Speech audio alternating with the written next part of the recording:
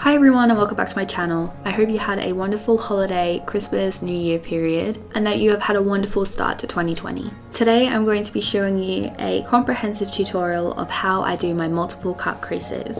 This method isn't something that I usually use just because I'm comfortable with the spacing of my lid. However, I feel it's a good guide to map out your eyelid space for looks like this one. Using a brow pencil, you're going to want to draw a line underneath your eyebrow I go from the start of my brow to the tail in an S kind of shape. You can probably see where the shadow stained my lid, but basically where that staining is, is where you're going to be wanting to put your eyeshadow. Obviously not in that exact spot only, but the whole way in between the bottom of that line and your brow. Next, I'm doing a very oversized half cut crease shape which stops at the bottom of the S shape, but only halfway across my eye. This then gives us another area that we are able to put shadow in.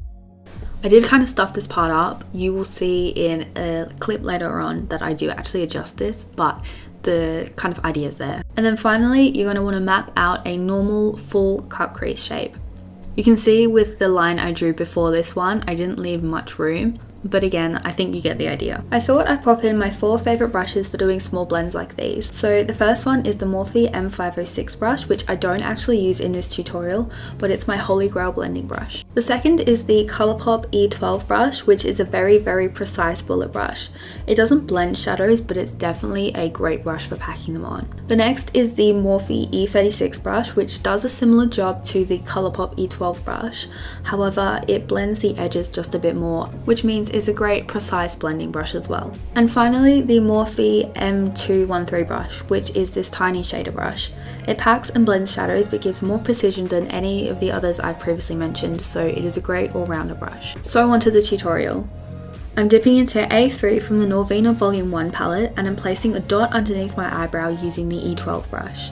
I lightly buff the edges with this brush too, just so that I can blend the next colour into it. Then using B3 from the Norvina Volume 3 palette and the same brush, I'm stamping the colour around the purple shade. I do the same thing with all of the other colours that I show you, basically using the same brush and I'm packing instead of swiping or using circular motions and then only using circular motions very very lightly around the edges just so that I can blend the next color into them without any lines or you know how you get the dark lines around the shadow sometimes if they're not blended properly. I find just going around the edges ensures that that doesn't really happen. So we're sticking with the same palette. We're using the Norvina volume 3 palette and we're dipping into A1 this time and I'm using the Morphe 213 brush so this one requires a little different technique. I do the same thing, I pat it on, but then I kind of swipe it. Then I'm going into my favorite BPerfect Carnival XL Pro palette, it's the big one. Um, and as you can see, I'm using the same brush again.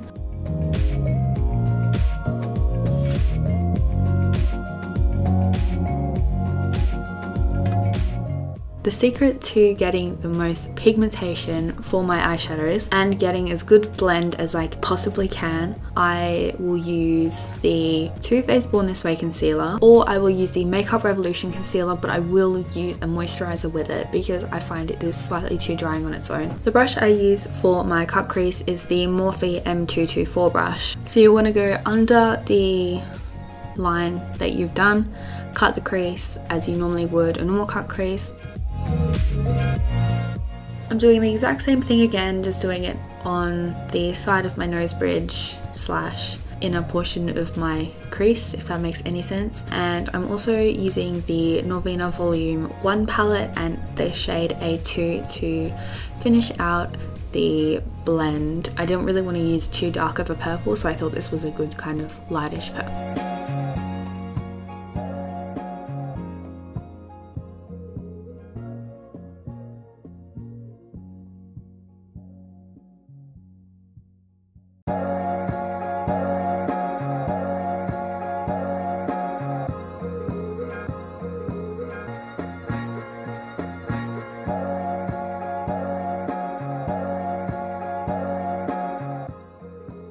Either using this micellar water or the oil one, which is the blue one with the blue oil on top. I will use this paintbrush I think I got from Amazon and I will carve out the crease using that brush and the micellar water.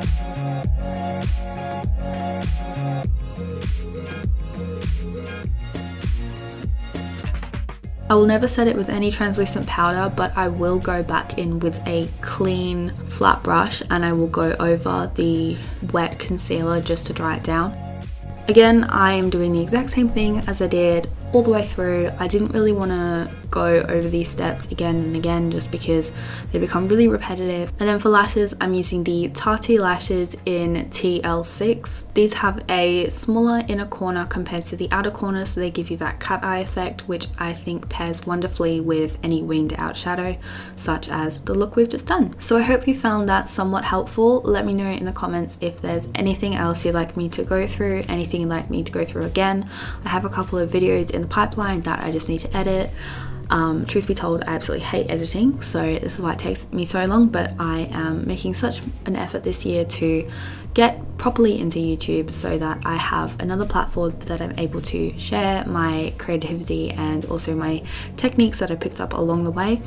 So please let me know if there's anything you'd like to see in the comments. Please like, subscribe, and I will see you in the next video. Thank you so